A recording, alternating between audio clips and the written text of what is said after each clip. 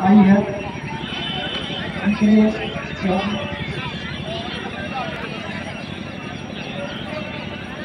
जैसा कि आप लोग देख रहे हैं, दोनों टीमें मैदान पर है।